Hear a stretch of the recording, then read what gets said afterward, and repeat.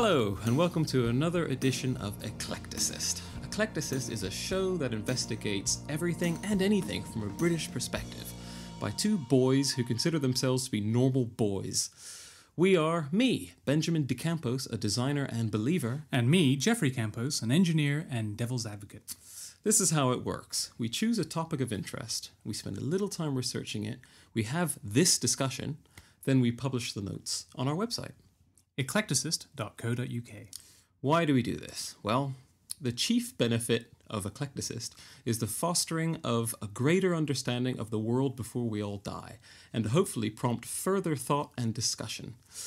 Well, today's discussion is alternative energy. Bodies of ancient biological organisms, buried, compressed, and cooked over billions of years, have produced petroleum, a complex hydrocarbon rich liquid fuel. As a species, we have been burning fossil fuels on an industrial scale for centuries, and it has benefited us in terms of standard of living immeasurably. However, there's only so much petroleum underground. It's getting increasingly harder to extract and will one day completely run out. There are consequently environmental, socio-economic, and political implications to our dependence. There are many initiatives across the globe dedicated to raising public awareness of our potentially worsening energy situation and an increasingly fruitful effort to make renewable energy solutions realistic. What we're not going to talk about is big oil and the oil industry in general, and petroleum in manufacturing. We're principally going to talk about the needs for energy, why we need as much energy as we do, where that energy comes from, and our energy future, where we're going to get all of our energy tomorrow. At the moment, our needs are all over the place. I mean, it's all about energy, especially in the West. We constantly talk about energy. It's a huge topic, and we're all really paranoid about it, and we're all thinking that we've already achieved peak oil and uh, and that you know the lights are going to start flickering uh, by the end of the week and uh, next month well that's it. We're going to have to be foraging for food and it'll be anarchy in the streets. I, I think we should start with uh, the types of energy needs that we currently have. I mean there there are some obvious ones. Uh, we have a list here and there are lots of cars. Cars require energy in order to run. We go from A to B and we do it increasingly in cars, and cars use liquid fuel, they use petrol predominantly. There are variants of petrol, and uh, there are a few biofuels that some cars use. Shipping, shipping is just huge. All of our products are now manufactured in other countries, and they take a, a very long time indeed to come many thousands of miles to be delivered onto uh, our shores for us to enjoy. Trains, uh, they crisscross every country, and uh, they are unbelievably expensive, and they use an incredible amount of diesel oil. Planes, you know, especially in the West, you look up and you'll see a plane during daytime hours at least, and uh, they use absolutely huge amount of jet fuel. And of course, mobile canal diggers. They exist, and it's amazing how much fuel they use. So lots of very specialist vehicles use just an incredible amount of fuel. I'm not sure I understand that. Mobile canal diggers, is that a form of transport? It is a form of transport. It's a form of transport that transports a machining process along a very great distance. So it's a very, very large tool which needs to travel in order to dig a canal. And the amount of energy that is required to move hundreds of thousands of tons of dirt is just astronomical. The reason why that's on the, the list is just to illustrate the fact that there are machines that move and they consume a vast amount of power and they are for specialist purposes. Right. So apart from just transporting human flesh from one point on the planet to another point on the planet, there are lots of machines that travel as well, but they, they, they are moving a service and they're processing as they do it and it just the amount of energy that they require is huge, absolutely huge. It's just when you think of transport, you do think of cars, ships, trains, planes. Not so much the mobile canal. Well, diggers. not so much the mobile canal diggers, but for instance, here in London, uh, we currently have a huge. I think it's the biggest, the biggest project in Europe, which is Crossrail, which is basically digging a tunnel all the way across the city. Yes. In addition to a lot of station upgrades, um, all part of the uh, the gentrification of the city, where we push all the poor people out to the favelas and uh, we make it all fabulous for the rich people. and we pour billions of pounds into um, getting us moving quicker across the city, rather than putting that money towards schools, No, absolutely. or hospitals, or But the fact of the matter is, huge machines are drilling these tunnels and they're utilizing horrific amounts of fossil fuels uh, in order to move all of this dirt and make the, the holes. It's absolutely incredible. But also, other energy needs uh, include food. We all eat, and in order to eat, we have to process the food that we eat. So, cooking, animal feed production, the distribution of foodstuffs again, vast amounts of energy go into this. And uh, that investment of energy mostly comes from fossil fuels. And the investment of energy in terms of food goes into the food that the animals eat, moving the animals about, fertilizing the ground, you know, the pesticides and uh, the phosphates and all the rest of it. All of it is fossil fuel uh, fueled. It's just a, a wild amount of energy goes into food production. Um, warfare, again, these are machines that serve a purpose, but they consume vast amounts of energy. You know, to move a warship is a scale of magnitude greater uh, amount of energy utilization than a, a car. but that might come under the transport uh, heading. Well, okay. Well, we can bicker about the different headings, but the point of this list is that we have a lot of energy needs. Those energy needs differ greatly, but mostly they depend on fossil fuels. We, we haven't mentioned manufacturing, of course, and manufacturing, whatever it is you're making, you're using a, an awful lot of energy in order to manufacture whatever it is you're manufacturing. If you make something out of metal, you need to invest an awful lot of energy in finding finding the ore, uh, processing the ore, uh, manufacturing the shapes, uh, and then distribution and further processing. Uh, it's all huge. So heat and uh, electricity and uh, and uh, digging up uh, Yes. metals, Um, processing ore. Yeah, we should also say that um, it's one of those things that people don't really think about uh, is manufacturing um, using so much energy. Um, for example, I can't remember the name of the guy, but he had a film about um, renewable energy, or he was featured in a, in a documentary, um, and he would talk about how many gallons of, or how many barrels of crude oil is needed to make a single tire in a car, for a car, for example. Um, and so, you know, you talk about being greener because you've got an electric car, but of course, that car was still manufactured. And, um, you know, that's a pretty uh, energy um, um, consuming um, exercise. Absolutely, uh, it's pushing the the amount of energy required. It's you know a lot of green technologies just push the energy requirements and pollution farther up the chain.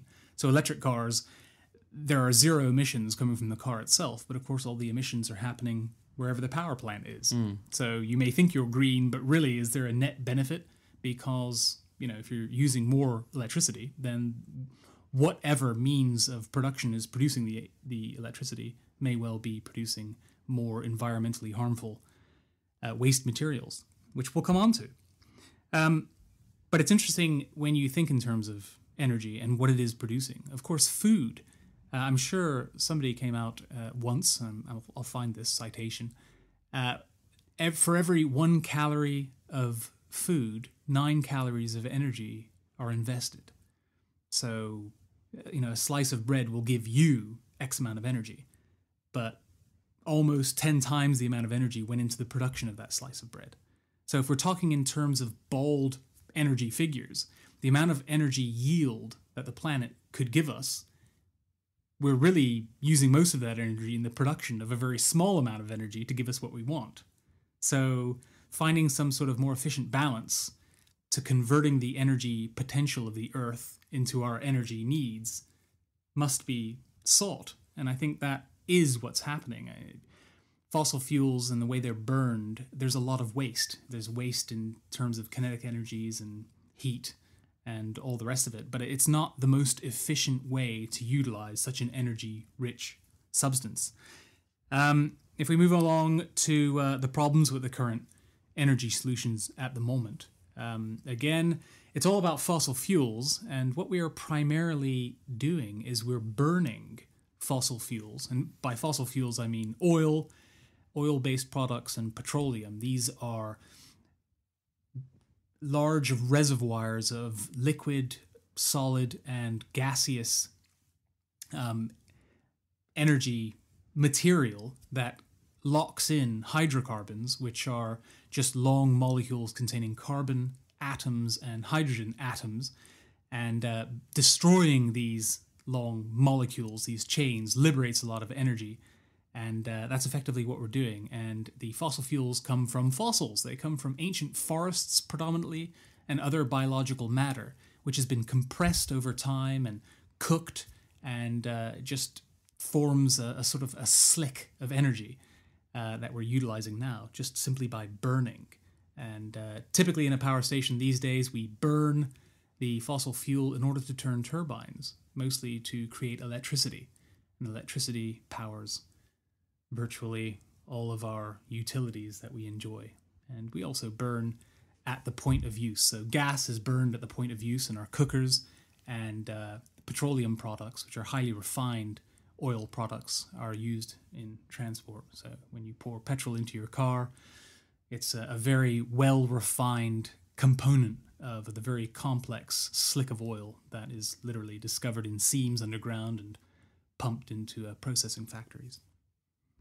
So it's all about hydrocarbons Mm. and coal. Um, yeah, still coal. Coal, still just chunks of ancient forest, sort of like a it's a rock. It's a black, horrible, horrible rock that just stains your clothes. It's awful. There are different gradations of coal. There's different qualities of coal. You know, it it, it ranges from dirt and peat like substance that you can just burn for heat, all the way to top quality coal, which is called anthracite, and it's it's like a glossy. It's like a semi-precious stone. It's black and it's glossy and it's shiny. And it's lovely, and it's it contains a massive amount of energy. It takes quite a lot of energy to burn it, but once it gets going, it it produces an amazing amount of power very quickly. An amazing barbecue. Yeah, absolutely. The best barbecues are anthracite barbecues for sure. Um, natural gas. Uh, again, these are these are seams underground, locked in rock. Uh, that uh, just it's just gaseous hydrocarbons, and uh, they can be easily utilized and burn exceptionally well. And of course, now that we're depleting a lot of the large reservoirs of energy under the ground, there's the new technology called fracking, which is effectively breaking up sort of shale-like rocks, and uh, in order to liberate the gases, so liquid under liquid under pressure is pumped under the ground, and it breaks apart breaks apart the uh, the shale, and uh, the gas is uh, liberated and then contained uh, to be burned later. It's getting more and more popular, and uh, apparently, it's turning a lot of countries into energy surplus uh, surplus energy uh, states. Uh, Well, you say popular, but it's getting pretty unpopular in this country. it's fairly unpopular with people where the uh, the processing plant is in their backyard. It's just it's standard NIMBYism, but uh, uh, there is a lot of potential there. Literally, um, America seems to be an energy. It has an energy surplus now because of fracking and natural gas deposits. Really? Yeah, and also um, and reclaiming uh, oil from sand and rocks, tar sands, and uh, again, it takes it takes a lot more energy to recover oil that's baked into a rock versus pumping liquid oil under natural pressure out of the ground. So it's getting harder and harder to retrieve these energy rich substances, uh, but we're forced to do it because we're running out of all the easy stuff and it's getting harder and harder. But we're so dependent on these fossil fuels that uh, you know we're absolutely going to use every last dreg. It doesn't seem to me like there's going to be a point where we're going to say let's not use it all. Let's move on to uh, another technology before it's all gone. I, I seem to think that change comes at the precipice and it will have to actually run out. We'll have to go through some sort of crisis. I don't know about that. Um, for a, a few things. Uh, for example, um, I think Saudi Arabia uh, made a, um, some noises relatively recently, um, saying that they want to be compensated for um, when the rest of the world s- starts to um, use, you know, find alternatives to crude oil for energy, and uh, Saudi Arabia was going a bit crazy, thinking, "Oh my God, you guys don't want to buy our oil? Well, you need to compensate us for that." Um, and also, uh, I'm surprised about the America. Um, what did you say? They're to They have an energy surplus now because yeah. of natural gas. where did you hear that? Because I think it's the, that's the kind of thing that you got to be very careful where those statistics come from. Well, I think they're a net exporter now of energy, whereas before I think they imported most of their energy, and I think most of their energy came from Canada. Interestingly enough, that Right. the- they're- Oh, yeah. Canada is still their biggest trading partner, I think, and but now I think perhaps some regulation has been relaxed or, or some some laws have expired hmm. that is allowing them to do more thorough and more investigative energy investigation. I, th- I th- I'm sure there was a law where they were literally not allowed to drill for oil in their own waters surrounding their country, or there's definitely some heavily prohibitive laws right. governing the the acquisition of national energy underneath the ground. Eh, I'll, I'll look into this and I'll, I'll put some uh, some links on the show notes. But I'm sure there is something preventing a more uh, investigative uh, oil drilling expedition, and, and something has changed. I think. Um, I'm quite surprised. Um, what, what is it? The the United States are producing. They're exporting more energy than they ever have, and I think now they are exporting more energy than they're importing So currently. So why are we so obsessed with the Middle East? It sounds like America is pretty well self-contained. Sounds like what you're saying. Well, I think there are different types of energy and different types of energy requirements. I think the type of energy that the that Saudi Arabia and the United Arab Emirates and the other oil-rich nations, Qatar, they produce a particular type and grade of fuel, Right. and America locally produces a different type and grade of fuel that ticks different boxes and uh, But we're talking about oil. well, we're talking about fossil fuels, and fossil fuels has lots of different forms and functions. You know, gas is different from oil, is different from coal. They're all roughly, you know, you could categorize them all as a fossil fuel, and you can say, look, it's all about hydrocarbons. But uh, you know, hydrocarbon comes in lots of different forms. You have, again, the worst quality fossil fuel would be something like peat, which is like dirt. So it has it contains a lot of pollutants in it. Uh, so that reduces the efficacy of energy transfer. And then right at the other end of the scale, you have pure carbon like uh, diamonds or graphite. Graphite potentially has a huge amount of energy in it, but it's in you know, it doesn't burn. it would require just as much energy in order to burn it. So that's so fabulous that it's unusable. But stepping down that, down down from graphite, several grades, you get hydrogenated carbons. So there are lots of hydrogen atoms, which sort of lubricate everything and make it easier to burn. And that's the anthracites and the higher grade fossil fuels. But of course, gas burns faster than a solid, and uh, you know, liquid again has a different. It's it's you know, So it's it's really think- complicated. Oil is an incredibly Yes, complex substance. But I just think we should be hearing more about how the United States should be a little bit more self-contained, and we should be hearing something about cutting off ties to these insane Middle East countries. Yeah, I suppose so. But I've always thought that it's just it's easier. It's easier to extract the oil in oil-rich countries. I mean, it literally pumps itself hmm. out of the ground, and perhaps it's, just better quality, and it's consistent. You know, the delivery is predictable. You know, you hmm. get a hundred thousand barrels or a million barrels a day every day for the foreseeable future at extremely low cost, hmm. and with all the other benefits of outsourcery. You know, outsourcery. You know, there are fewer checks and balances in terms of health and safety, and uh, much more lax labor laws in general, Yeah, and all of those benefits that you get. No, but So- you you've got you know I don't know the disaster of the public relation, the public relations of the West when it comes to um, everyone very cynically think we go to war because of oil. Surely, we could pull our fingers out and use all this amazing energy that we have um, locally to uh, be um, I suppose more self-contained. Again, not to overuse that. that I suppose, but. I, I think again the the problem there is that it's not all about oil. It's it's about a lot of other things. I mean, the Middle Eastern countries are very close to major shipping lanes for all of the uh, all of the uh, the products that the West enjoys. These products come primarily from Asian countries like China, and uh, they're shipped and they're shipped past the Middle East. So you want to maintain quite uh, strong um, political ties with the Middle East in order to keep them calm and sweet, so they don't destroy the shipping lanes. So giving them a stream of revenue is probably a good idea in any case. I mean, we're off topic here quite considerably, but I, I know. I, I, I think don't, it's I don't think we are off. I don't think we are off topic. I think you know. Well, I think if you speak to the average person in the street about oil, Hmm. I think it won't take too long before the conversation comes to invading Iraq or something like that. Hmm.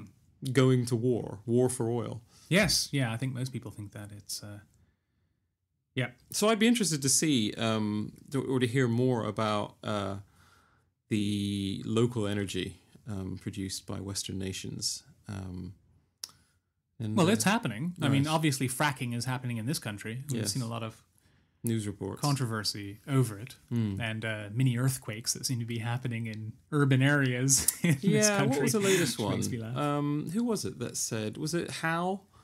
Um, Lord Howell, or I think it was him who said something like, "Oh, don't worry about it. It's in the northwest. Uh, it's just barren, desolate. No one cares about the northwest." And then he said, "No, sorry, I made a mistake. I meant the northeast, or so, or, or something." it was. Uh, That is absolutely terrible. But I mean, it, I, I, it would appeal to anyone to have energy security. I mean, if we, could- as a country, as the, the United Kingdom, if we could say, look, we're completely self sufficient in terms of energy, which is not true. No. And there's always the threat that North Sea oil is going to run out, or the, the Scottish will run off with it. They will, uh, you know, become a republic and uh, prevent us from getting a hold of all the North Sea oil. Uh, you know, there's always the fear that we'll become such a net importer of fuels that we'll be pulled over the barrel and you know held for ransom uh, by the Russians who have a, a huge surplus of gas. So it's it's a fear. It's a genuine fear because we're so used to what fuel does for us. We're, we're you know we're completely dependent on going to the petrol station and filling up our cars and electricity and not having the lights flickering and uh, you know having having power uh, on demand. We're so used to it, we take it completely for granted. So even conversations about how important fossil fuels are are difficult for people. They just they think you know oil is evil, and uh, wars fought over oil you know that outrages people. When in fact, if you're going to fight a war over anything, energy security is as good as most other considerations. Yeah, I, I agree. I think it's um it's very hypocritical when you hear people um talk about how disgusting it is, and it's like um I don't know. It's like fighting for freedom. You know, we we we so value our quality of life, um, and our quality of life is worth fighting for. Um, so I guess you could uh, you could sort of um, uh, you could you could pare that down to or reduce that down to uh, fighting for oil is worth it. Yeah, I think it's difficult once you take something for granted. Especially I don't long- necessarily have that view, by the way.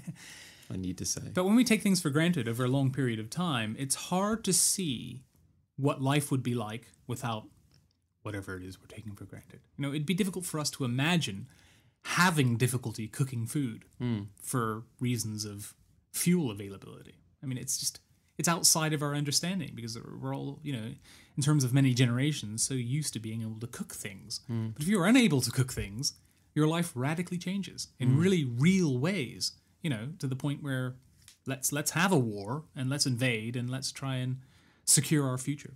Mm. But moving along, renewable energy. What do we mean by this? Alternative energy. We hear these phrases a lot, uh, increasingly in the media. I think there, are, there are occasionally, you know, high points where the news is just absolutely full of uh, our energy future. But by alternative energy, what do we mean? We mean anything that provides us with power to change things that is not dependent on fossil fuel directly.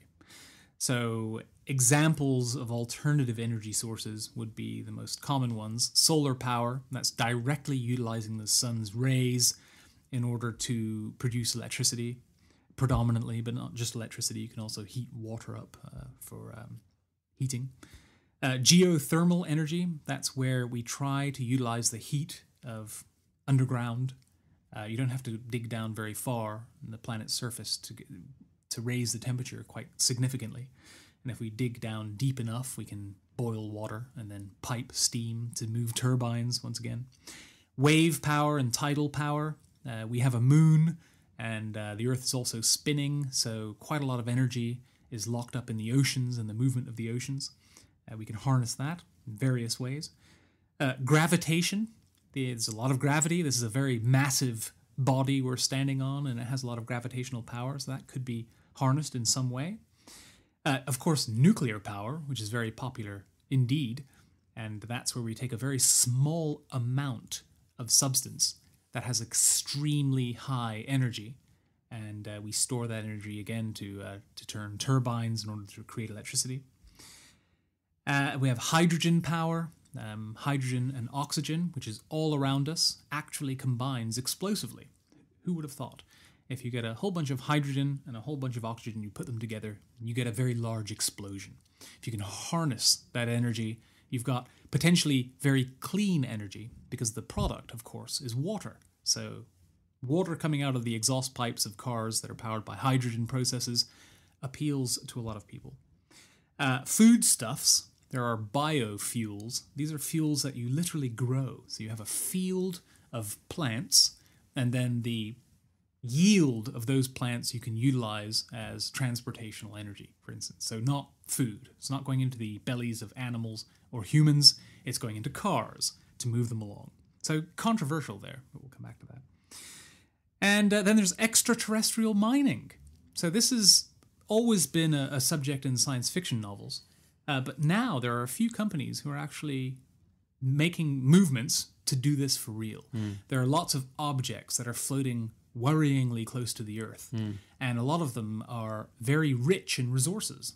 And the idea is to get into a spacecraft, fly to one of these devices. Perhaps you know a robot would fly fly to one of these uh, bodies, these NEOs, near Earth objects, mine them, and then perhaps transport that fuel material or mineral material back to the Earth in some way. Perhaps just dropping it to the Earth and uh, you know seeing where it lands, and then mining wherever it lands. And there was a conspiracy theory that the meteor meteoroid that hit Russia a few months ago that was televised, and uh, because the Russians, every Russian driver has a webcam in their uh, on their dashboard for insurance purposes, or or for the reasons to avoid insurance scams, caught a lot of footage of a meteor, meteoroid, a mete a meteor. Meteor is in space, and then a meteoroid is going through our atmosphere, and then meteorite is when it hits the ground. I think. Really? I think so.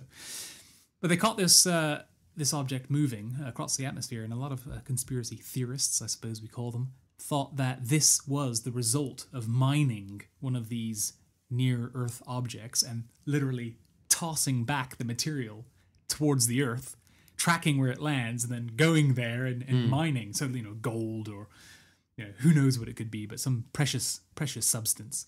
Uh, so fuels could potentially be uh, mined from these near Earth objects, uh, which which sounds a lot like science fiction. I can't imagine that would ever be economically viable, but who knows? You know, who knows just how desperate we'll become.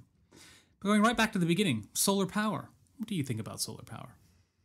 Um, well, I'm seeing a lot more uh, fields of solar powered uh, of solar panels. In fact, uh, driving uh, back into London last weekend, um, it's a great big field just off the uh, A11, and that was just in the middle of um, building itself, uh, an enormous, great big field of um, solar solar panels. I'm starting to see more and more solar panels on on roofs of houses. Yeah, especially new builds. Yeah, I see that all the time. Yeah, and it is actually something that I looked into um, once upon a time when I had a roof, but it did. Um, I think it takes years before it starts to pay for itself in any any way. Um, like like many years uh, to completely render it, you know, pointless. like 20 years. Something, yeah, yes, it's something that makes it completely. Um, I don't know. Ridiculous. Uh, I can't help but feel cynically that anyone who would install solar panels on the roof are just doing it to show everyone how green they are, or something like that. Which is something we should talk about. Um, which is the effort being made in this country, in the West, um, I should say, of um, wanting to appear green, uh, whether it be having solar powers on your roof or whatever, or companies that are always talking about sustainability. Or your second car being electric. Yes, uh, you see lots of green, the color around, because green means sustainability in the world of graphics. Like BP. Yes, that's right. Um, yeah. Uh, well, I mean that's that's another topic. The oil companies rebranding to be like BP, like a flower, uh, and having ads which are very patronizing, um, with really um, interesting theme tunes that you sing along to and all this kind of thing. You know what I mean? So There's a big. Um, I think it was BP that had a big ad campaign um, to make it seem as though they are this amazing green company. Um, but of course, they're not. Well, they certainly don't get such a good press in America after that massive disaster. No, again, that was a PR disaster as well. With the um, yeah, well, that's something else we should talk about. Um, that guy uh, from BP who was like, "God, we got to help the little people. I want my life back," and uh, Yes. all things like this. um, but yeah, in in this country, um, it seems that we're always it's always being rammed down our throats about how um, how we should um, be better humans by using less energy. Um, could be from you know not using toilet paper to something quite big like But that's uh, that's cutting back. Cutting I mean, uh, one strategy in order to sort of reduce the amount of pollutants that we're pumping into the atmosphere from burning fossil fuels or extending the life of the fossil fuel potential we have buried on the earth is to use less energy. So that's a strategy. It's not it's not an alternative energy source. And I, I'm heavily cynical about that because I think, well, why would we want to? We don't want to reduce the amount of energy we use. We want to use more and more and more. We want everybody to have electric lights. India, we want everybody in India to have electric lights. We don't want to say to them, look, you know, we're really we're really maxing out No, but the we're amount not. of energy well, we want no, to spend. you, you've you've stumbled into a different area here. We're not saying that to them. Um, what we're I stumbling? doing, well, no, what we're doing is we uh, we are using less lights, so countries like India can use lights. Um, China, countries that are kind of new to the to the world of um, Energy. new new to the game uh, of being prosperous um, don't have the kind of scruple. They haven't evolved the kind of scruples that we have uh, when it comes to sustainability and all that kind of thing. So they're just like you know burning tires left, right, and center, whereas um, we're so thrifty. Um, we're essentially we're thrifty so they can burn their tires. And when you say thrifty, I still think the West utilizes more energy and burns up more of the planet's resources than the rest of the world combined. For instance, I'm sure I saw a statistic where America utilizes four times as much energy as the next richest country. I'd like to see those numbers. I'll try and dig them up, but it doesn't take much imagination to think about the differences between the energy utilization of America and that of India.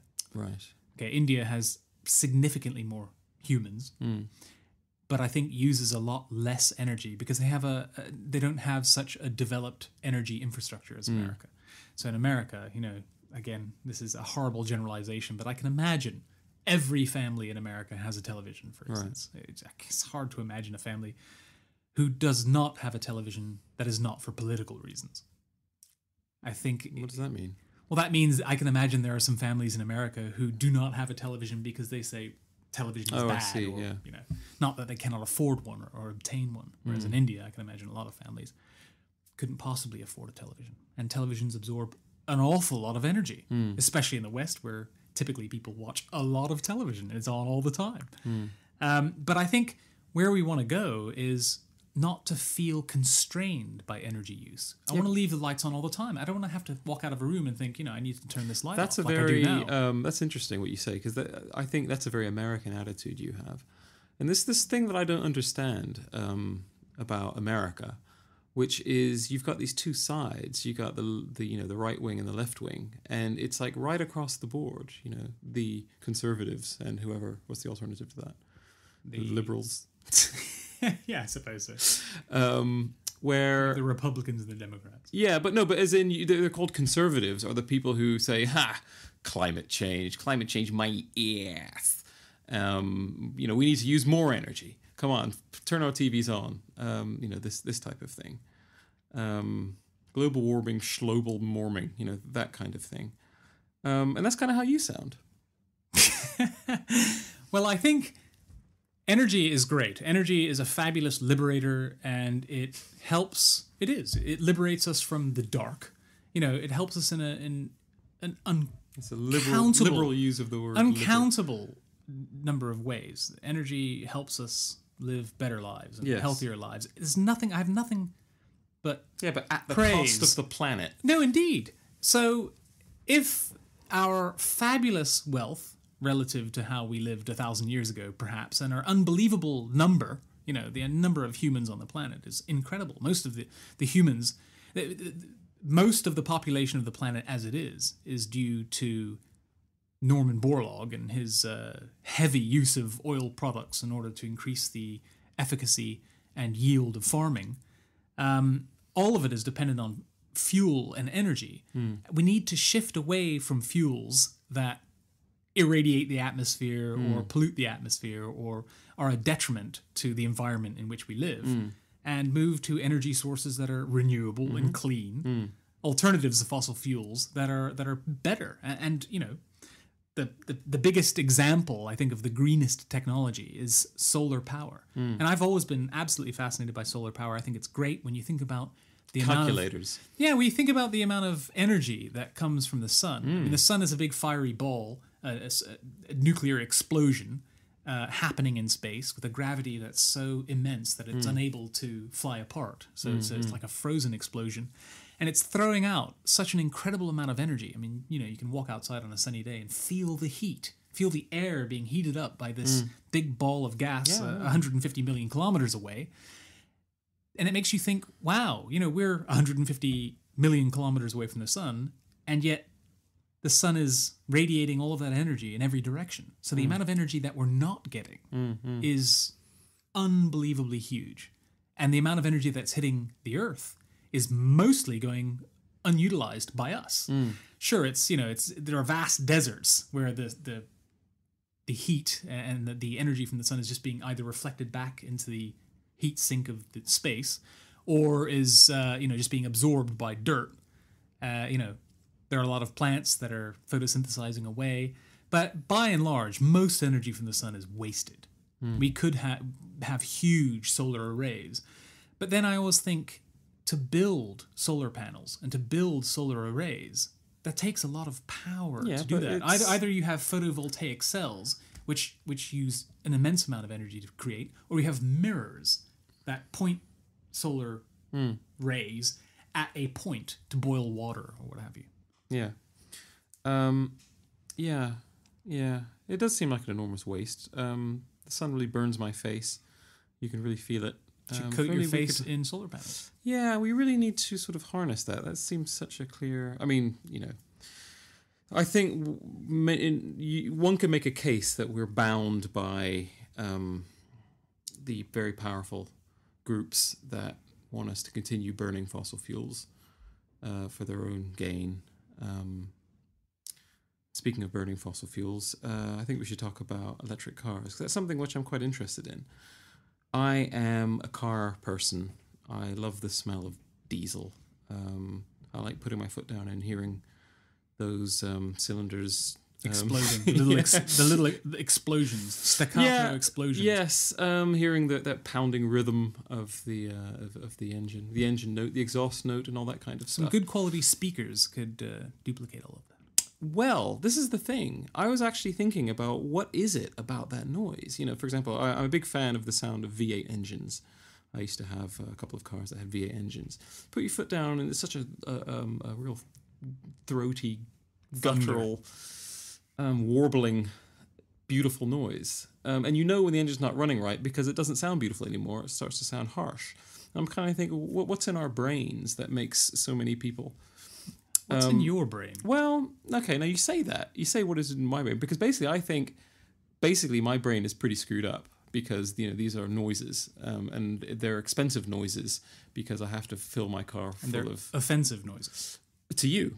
But this is this is where I'm going with this. Um, so I fill up my car, it's really expensive. Hear those beautiful sounds, then I have to fill up my car again. It's pretty expensive. And I thought, who the hell else does this? And the fact is, loads of people do this. And I'm thinking I do it because I'm weird. That's my excuse. What's everyone else's excuse? Surely it's a no brainer to have electric cars en masse. Surely everyone should want an electric car. No one should want to put petrol into their this explosive liquid into their tank. That's really expensive. But electric cars are not dependent on any particular type of energy production. You can have fossil fuel power stations can produce the electricity, which makes electric cars move. Okay, well, I guess what I'm specifically talking about is the mindset of normal consumers who will choose to buy a car with an internal combustion engine rather than an electric car that they don't have to fill up with petrol. Yeah, but electric cars are fairly thin on the ground. I mean, you don't have a Yeah, massive amount of. Why are they? This is Well, no, indeed. But well, perhaps it's just because the technology, in order to produce economically and, and, and performance viable and safe cars that run on electric power, just is it's it's still developing. We're not there yet. Well, I think it's two things. I mean, I mean, how many a hundred years we've had to, to perfect the internal combustion engine? Well, well, least. three things. Um, what was I going to say? You put me off there. Uh, um, uh, And again, you can have speakers which produce the sound that you like. And no, BMW ah, already got do it. No, it's there's this weird human ego. I think. I think for some reason, most, particularly males, probably won't want um, an electric car because it'll somehow make them. I don't know. do something to- Emasculate them. Yeah, something something in that arena. Um, in the same way, why would anyone choose to have a big gas guzzling engine? Why would anyone do that? You know, we don't need that. You know, smaller engines um, are so good these days that you know you, really don't need all those cylinders. It's it's ludicrous. It's it's it's vanity. No, absolutely. It's insecurity. I I, want a bigger gun than you. I think there's it's I think if there were demand, I think more people were thinking, "Holy Christ, why don't I have an electric car? We want electric cars." And there was that But how on- can there be a demand for something that doesn't exist? it does exist. You have to have an Elon Musk like character yes. who brings a product to market. why do you say it doesn't exist? And makes clearly- it- makes it- electric cars clearly exist. We've had the Honda Prius for how long now? yeah, but yeah, and it, it's there's a huge demand for it. not enough But demand. yeah, because there's not enough product out there. You get another few models Yeah, out but there, it's chicken in the egg. and you can absolutely make them. Well, it, there is, but remember the original demand for cars was a demand for something that moves you from A to B Hmm. at speed. That was a different requirement. Hmm. Now, well, we have the product that will do that. Hmm. What makes the electric product better? We need better electric products. And now, if you could say to someone, look, we have inductive charging stations built into the motorways. When you're driving along in your electric car, it will charge automatically. You don't have to fill it up. You don't have to plug it in at home. It's always fully charged. Always. We guarantee it. Whenever you drive, it's charging. And that would be enough of an incentive for me, certainly. yes. Even to pay a small premium. Small premium. okay again that's for you i think it's there's a combination of things here i think it's there's some ele- there's some machismo nonsense about having a car with an engine and petrol and that kind of thing and i think there's also um, thinking cynically um, there's some government nonsense uh, where a lot of um, investment in energy has been put into uh, going to war um, the development of the combustion engine over the years, you know, it's too expensive to move everything over to uh, But, but even saying, new tooling and all that kind of thing. But- you remember the film Syri- uh, Syriana? yes, There was some. The only memorable bit in that film is where some. you. The only memorable, yeah, the only memorable bit in that film for me uh, was when some um, oil exec, American oil exec, says, "That's why we win," or something like that, and it was to do with um, why we create the demand for using fossil fuels or something like that. I can't remember. Well, I think with if you were to, I think if you really like the sound of a combustion engine that uses liquid fossil fuel, there's no way of getting away from that. I think, well, you just really like that, and you can't replicate that with any kind of uh, alternative to a fossil fuel car. So if you get a, a big V8 car and you take out its V8 engine and you put in an electric engine, and then you simulate the sounds in the speakers in the cockpit of a V8 engine, as the owner of that car, you will know what's going on, and perhaps that destroys a lot of the romance, and you'll never get past that. what is it about that? What's the actual mechanism in our brains? This sounds like a psychology show that we'll have at some point. No, but it's just we're just. Ta- well, I think it plays a big part in why there's not more of a demand for um, electric cars. I just think what what is it about the sound of? Uh, it's, I mean, why has BMW m- synthesized the noise of a V8 engine or whatever?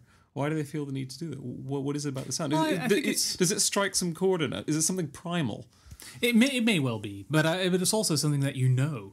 I think you know there's always a fear of the new, but again, if you look at the raw numbers on electric, if you look at the potential of electric cars, especially electric sports cars, they will vastly outperform fossil fuel based Exactly. engines. Brilliant. Vastly, much faster acceleration, much better drivetrain um, torque utilization. Hmm. They, they'll blow them away. So it'll get to a point where to get into a fossil fuel car is, you know, getting into a, a, a ancient technology that can't possibly compete.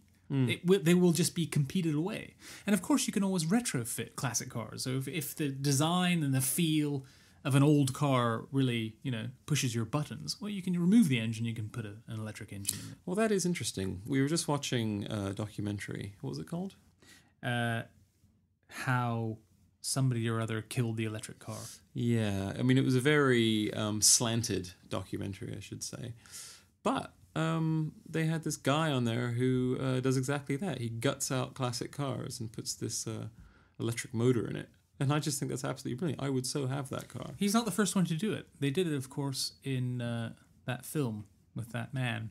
Which one? Back to the Future. I think it was Back to the Future 2, where they would retrofit cars with flying engines. Um, yes. Uh, although in 1985, the DeLorean wasn't a classic car. Right. Um, moving on, uh, or rather, returning to solar power. Um, as I said before, this has always interested me. You can make solar powered cars. There are cars that race across deserts where there's Actually- nothing but sun. Do you know, because we're going to get so many letters about this, okay, it was in 2015, and, and I suppose 2015, the DeLorean was a classic car, because that's when Mr. Fusion came into it. Yeah, but they weren't retrofitting the DeLorean. They did. There was an av- They did, but No, no, no, do you remember? Yeah, they had a blender on the back or something. Yeah. No, I was talking about there. They were retrofitting '50s classic cars with flying engines in Back to the Future 2 or I something. don't remember that. No, they really were. Anyway, um, you can have a solar powered car.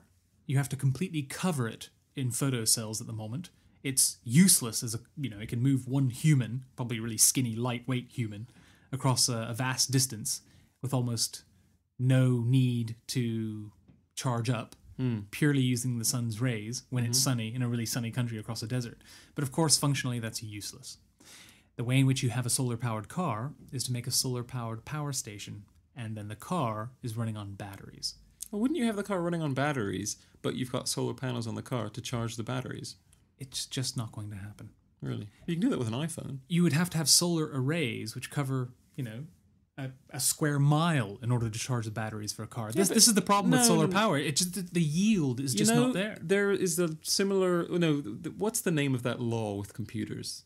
There's some law. Moore's law. something like that. And I just think power surely, doubles every 18 months. Yeah, so surely it's only a matter of time before they can make a solar cell that can is able to harness as much energy from the sun as Well- you'd need to power 20 cars. the race is on, but simple physics comes into play. If you have a, a surface area and you have the sun's rays, it's a relatively simple calculation, a calculation I'm not capable of. Right. But it's a relatively simple and straightforward and very accurate calculation to work out exactly how much energy is coming from the sun over a duration onto a an area.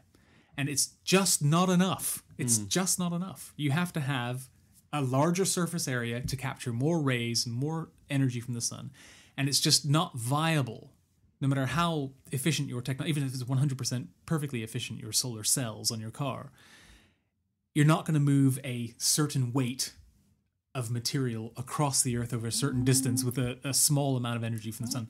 not going to happen. You have to have huge arrays and store the energy in chemical Surely batteries. its own. Well, I, I don't get that.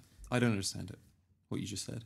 okay. No, no, no. That's fine. You have to explain it. Uh, but I, no, no, it's fine. just I mean, no, it's there. I mean, I can go and listen to this again. Okay. But it's um, I just think it's only a matter of time, surely, before they work out how to do anything.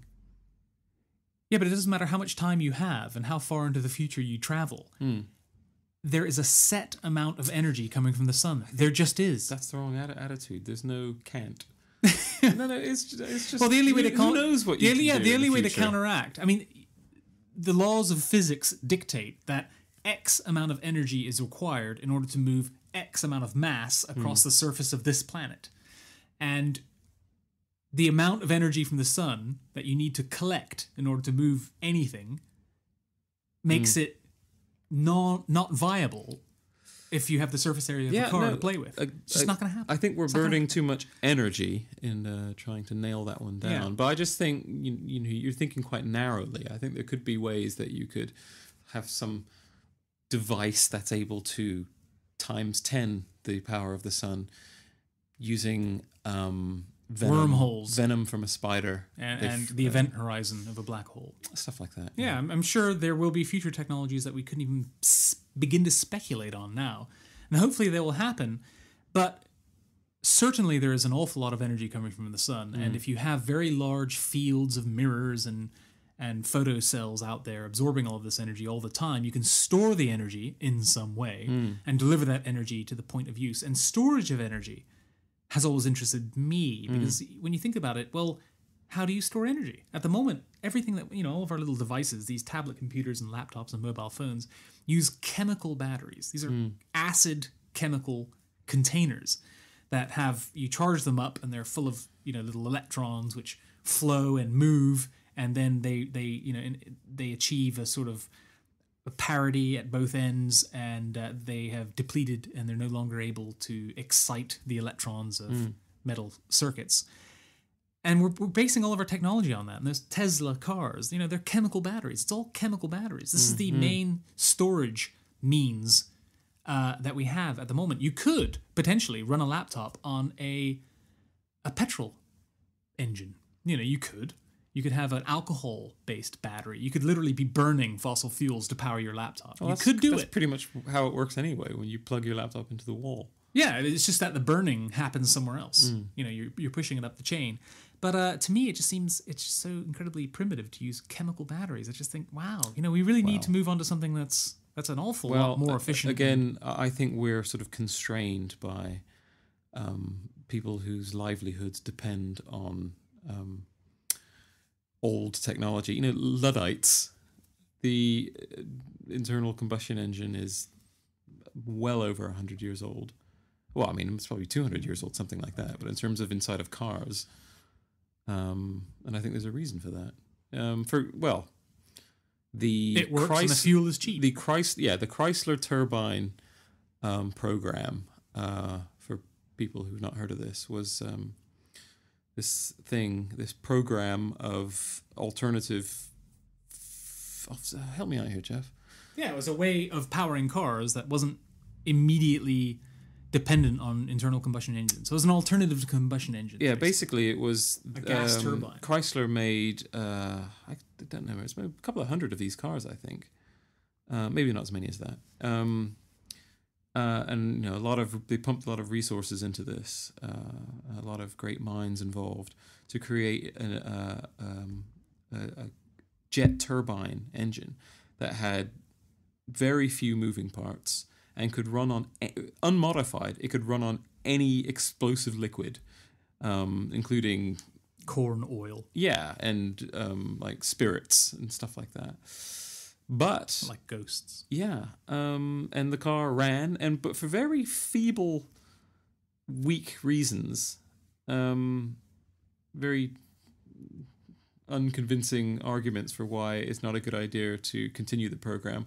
All the cars were all um, destroyed, uh, and only about five remain, and they're in museums and stuff like that. And that was a, potentially a, a promising line of an al- uh, an alternative um, uh, source of energy for cars. Um, and I think there was government intervention there. My own sort of conspiracy theory on on this is um, it was too dangerous for the government or for the people who make the rules to not rely on fossil fuels to power cars. And Yeah, I, th- I, th- I think that still happens. I think yeah, I th- I'm sure I heard a story where Mr. Ford right. of Model T Ford fame yes. Originally or early on developed a power system based on hemp Right. or hemp oil hmm. in some way. So effectively a plant that you can grow, a biofuel Right. to power his car, not requiring oil. But I think that was scotched, and all the cars were converted to oil consuming beasts. And then they made hemp illegal through the anti drug laws and, you know, it's marijuana. and- I think we saw that in that massive- same documentary. Um, I think they spoke about hemp and uh, Yeah, and how alternatives of fossil fuels. Yeah. So so obviously there are a lot of organizations who are very powerful lobbyists uh, who are influential over the government Yes. who have a vested interest in oil and the continuing usage of oil. But the simple fact of the matter is oil will run out. It is finite. Even if it, you know, the entire planet is actually soaking in it, it will run out one day. It simply will. And it's ridiculous to depend on a single energy source. We really need to move along into renewable energy sources. And a lot of a lot of people think that it's a multi-pronged at- uh, approach is best. So solar energy, wave power, geothermal. Let's get get them all. Let's all you know, ten percent solar, five percent wave. You know, let's all get together. Don't put all of our eggs in one basket and have multiple streams of revenue, if you will, and uh, open it up to competition. And uh, that's the way to do it. And you know, one one form of energy production is more suitable for a particular use, and you know, than another one. And it seems you know, if if we're not going to find the, we're not going to discover the holy grail, like some sort of fusion energy where you get two light atomic nuclei and you cram them together and it liberates an absolutely mind blowing amount of energy. So you can have little pellets which power cities. If that will never happen, then uh, perhaps the way to do it is to reduce the amount of energy we require, make all of our systems and services and utilities more efficient, and uh, you know become thriftier and become more better educated and not so wasteful and use uh, you know multiple energy sources. I'm still very keen on geothermal. It seems to me to be unlimited and and very viable. It's it, it's it's almost as simple as drilling two holes, two very deep holes into the ground, and you just drop a bomb down one of the holes, and it blows up at the bottom, joining the two very deep tunnels, and you drop what literally you know use Earth's gravity to drop water. Don't even have to pump it. Drop water down one hole, and steam comes up the other hole, and then you can turn a turbine and create electricity. we've spoken about this forever uh, in terms of it seems so obvious. it does. Um, And there's Iceland. be- Iceland are doing it. They're, they're, are they? It's related to the huge banking failure in Iceland. I'm, I'm fairly sure it's something to do with the investors thinking and investing massive amounts of energy in geothermal, and yet somehow the banks worked out a way to screw it all up. Hmm. And then wave power. I mean, you know, tides are obviously incredibly powerful, That's and, a big harnessing the, the moment. I'm And it- doing more and more work for companies that are making a lot of noise about that. Tidal, they call it? What's the name for it? The special name they give it. Um, but yeah, uh, I've I've hydro, not hydroelectric. No, there's a, it's called. It's no. there- there- There's there's its own special name for it, which I can't remember. It'll be in the show notes. But I, I'm noticing more and more. There's more and more chatter about that. But it's interesting because there are lots of different ways that you can harness wave power. You can either have just build a wall and the waves crash against the wall and either directly turn turbines, or you can have objects that float in the water and the waves bend and move the object, and every little micro movement turns turbines or, you know, stores energy. But again, mm. here we are with the same problem, which is storing the energy. Mm. It's one thing to collect the energy, It's it's another thing to actually store it and then transport it. One interesting way that a lot of power stations are using are kinetic storage hmm. systems. So you would have a, a large barrel, and inside this barrel, you know, it'd be vacuum sealed, and it would have discs spinning incredibly fast with the, the, the absolute minimum amount of friction. So maybe they're magnetically spinning discs, and you store energy in terms of of its kinet- kinetic potential energy. Right. So whenever you need uh, some energy, hmm. you can just slow those discs down, and you know you can you can take the mm-hmm. energy away from them. And if they're big enough and you have enough of them, then potentially they could create a buffer when they're you know really really uh, huge drains on the grid, for instance, you know, in the middle of the football game and everybody's making a cup of tea. Maybe as a buffer to the electricity power station, you would utilize the energy in all of these kinetic barrels that are spinning along. And uh, there are a lot of companies producing these, and I think that's an, an interesting way. Imagine having batteries that are actually they ha- they're spinning they have spinning discs inside them, and just really fast, and uh, you know you can throw them around, and that, but because because of the way they're spinning, they're not like gyroscopes, and you can you know, but they're just who knows? But it sounds like a an interesting old tech way of storing energy, and it sounds to me greener than chemical batteries because of course you know disposing of chemical batteries they still have Yeah, acids in them Throw them in the fire. yeah, no, no you don't want to do that because apparently they're really quite dangerous. Um, hydrogen uh, is another interesting, completely clean. As we mentioned before, it's it's very clean because its its uh, waste product is water. But of course, if you have a large amount of hydrogen, let's say a hydrogen container and a water, uh, um, an oxygen container in a vehicle, and the vehicle crashes, uh, potentially, you know, you've got a massive crater in the middle of the road. So you would have to dope each cylinder, or maybe just one cylinder. So if that were to happen, it wouldn't explode. But then you have the filtering and the the anti-doping technology in order to make it happen. And it seems to me, you know, just imagine filling up your car with hydrogen. You you still have to go to a petrol station. You still have to buy canisters. You you would need an infrastructure, a new infrastructure to try and. It sounds dangerous. It sounds expensive, and it sounds like it would take a very long time. Whereas electric, you know, suddenly if if everybody had an electric car, potentially every house would be a petrol station. People could literally sell their electricity at a premium. You know, you just park and the, the control of the oil companies would be gone because you've effectively open sourced energy to everyone. And the real the real power would lie with the the power stations, whoever's producing the electricity, the electricity producers, rather than just the fossil fuel producers. I think that would be quite interesting. I mean, you know, I'm I'm, I'm running low. Excuse me, Mister seventy three. Uh, can you help me out a little bit? I think that's uh, there's literally potential there. I think biofuels sounds like a, a mistake to me. I mean, we should be eating food. We shouldn't be feeding food to our cars.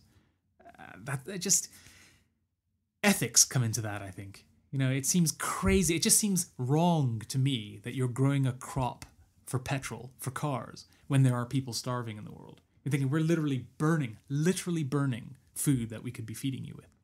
We would rather burn your food to feed our cars than feed you. No, I don't. You don't see the you don't see the ethical paradox. Um, I think you could say that about anything. Um, you could say that about anything. Like Well, you could say, "Oh, I can't believe you're doing something you enjoy when there are people starving in the world." Oh, okay.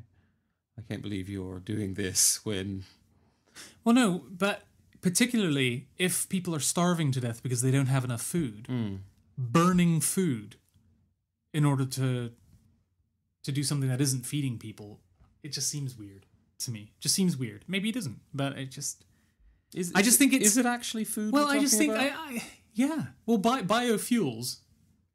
You're grow. You're Yeah, I know you're growing So it. so let's say But you're saying you should use those fields for crops. Yeah, you could have a field that used to be a wheat field, and you could grow some plant that is inedible, but it is a biofuel. You're no longer growing wheat there. That could potentially push up the price of wheat. And the more demand that there is for fuel, the more expensive food will become. And the more expensive food becomes, then the harder it is to justify giving food to people who need No, it in but what about if we're not talking about um, uh, bulldozing wheat fields, but what if we're talking about wasteland? Yeah, I mean, where, where again another point where I struggle with biofuels is okay, you have a, a huge, vast tract of derelict land, hmm. and you want to start growing biofuels. In order to grow anything, you need to invest an awful lot of oil.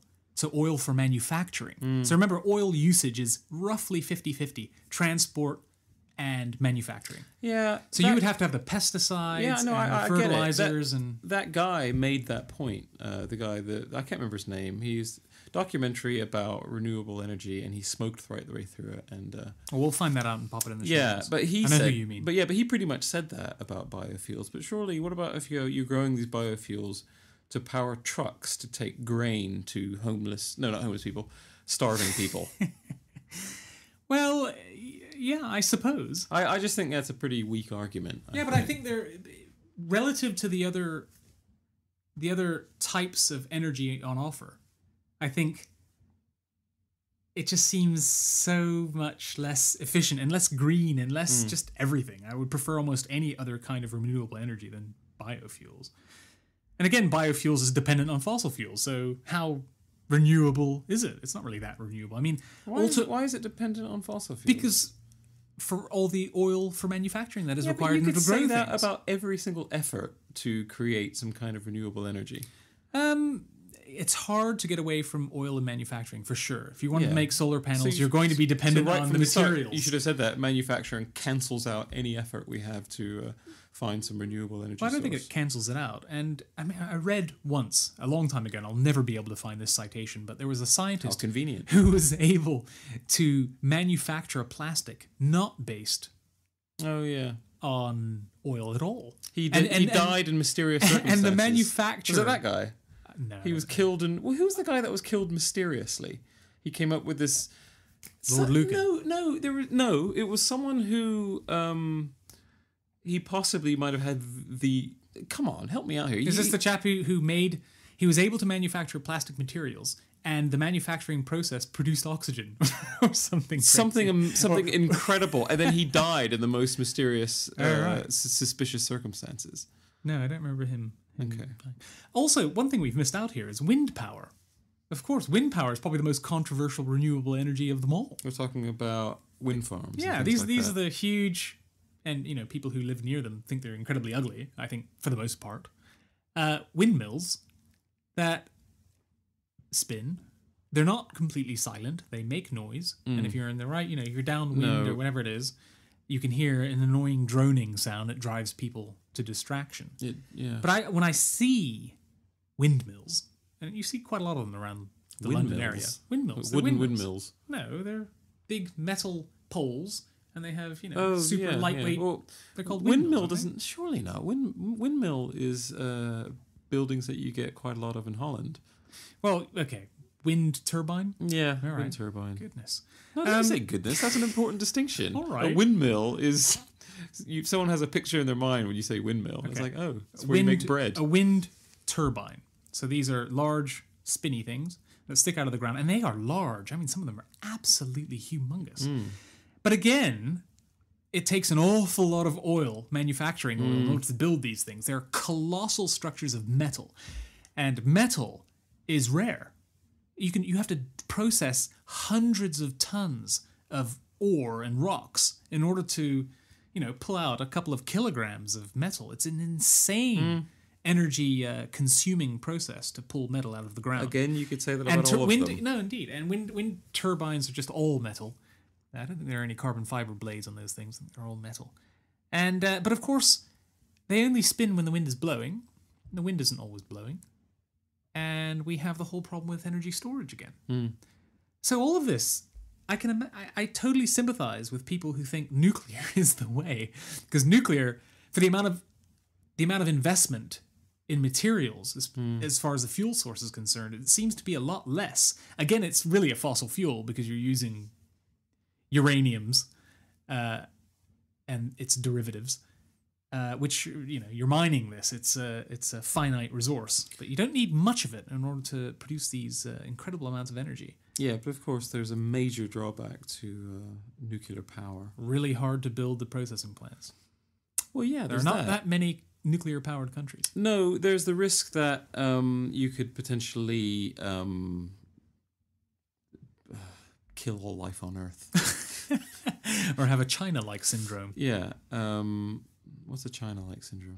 The China syndrome. I think that was originally coined during the three mile the, the Three Mile Island nuclear incident in the east coast of America. Didn't kill anybody, but it's where the core, the actual rods that are producing all of the heat to boil all the water, uh, are damaged in some way or become unstable and the heat just builds and builds and builds to the point where they just melt through anything and they just go straight down into the ground and, just, like, and just uh, keep going bit like from the Alien film. all the way to China. Yeah, so that's the China syndrome. And of course, we have three big examples of. yeah, but it wouldn't be that incidents. here because China's not the other side of us. I think it's Rat Island is on exactly the other side of the planet I thought it was Australia. to London. No, it's Rat Island somewhere in the middle of the Pacific. I'm sure I, I've looked on a globe once. Okay. But uh, Fukushima, of course, the most recent uh, nuclear disaster Yep. in Japan, uh, building a nuclear power station really close to uh, the sea. But then again, you don't have much choice in Japan. I mean, No. inland is too rocky and mountainous to do anything, so you're always near the sea.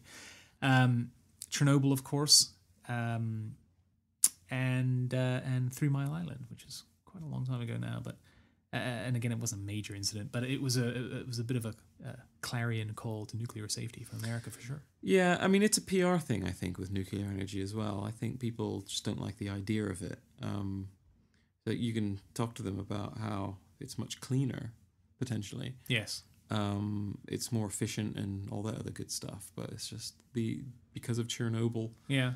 Um, And also that it can be weaponized. yeah, Lots yeah, of people yeah. are nervous about Iran as because well. they say, look, we have every right to develop, to secure our energy future and develop nuclear power. But of course, maybe that's a front for, Yeah, weaponization. mass destruction. yeah, who knows. But they did sign the Nuclear Non Proliferation Treaty, unlike all the other countries that have nuclear weapons, like Right. Pakistan and India, Israel. Um, North Korea. North Korea. Yeah, do they have nukes? Yep. Gosh. But uh, yeah, so renewable. The, controversy is ren- how how renewable are renewable energy sources. I I am more and more subscribing to a, a multi pronged approach. Uh, we should be doing a little bit of all of these and try and scale down our dependence on oil. Not just because we don't want to be dependent on other nations. You know, we don't want to be dependent on the Middle East for energy, for instance, or anybody. No, but that's what I said at the very top of this um, podcast was uh, of how we need to break that yoke, whatever the correct expression is. Um, you know, sever our ties with the Middle East. Um, wouldn't that be nice?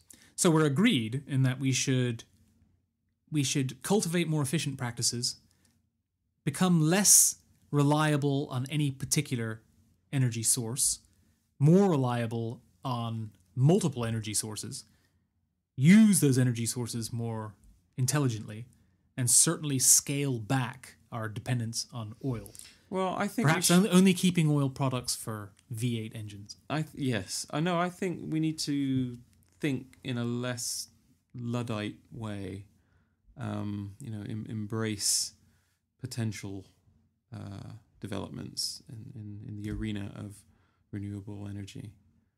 Um, And perhaps a little bit more transparency in the governments yeah, of the world. Well, we need to know well, what's going on and how they're being lobbied and Yeah, but I, I think that's probably the biggest thing. I think that's the reason why um, we're where we are. Really, I think we probably would have had um, renewable, genuine renewable energy um, if it wasn't for powerful people um, who uh, make all the decisions. indeed. So we're agreed. So I think we should wrap it up. Um, our outro music of choice uh, in this show is uh, something that's very Milesy Davisy. It's uh, called Enchanted Fever.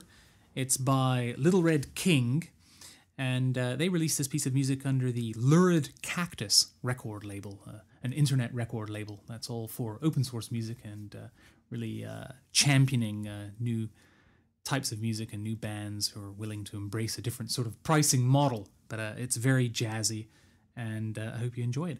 If you visit our website, you can find the notes for the show, you can leave us some feedback, and uh, you can see information on all the upcoming shows as well. We haven't decided what the next topic will be, but we'll figure that out quite soon, and we'll pop it up on the website, which is eclecticist.co.uk. Thank you very much for listening. Goodbye.